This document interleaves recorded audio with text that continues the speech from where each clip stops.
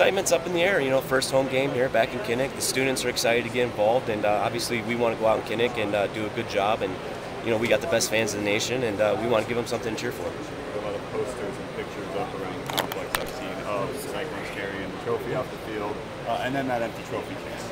What does it do to your mentality, your emotions, when you see those pictures, when you walk by that trophy case?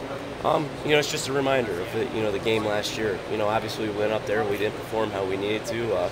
You know, we were able to jump out early, but you know, as the game went on, we didn't get stronger. They did. So, uh, you know, it's just a reminder that this Saturday we need to be ready to play the full 60.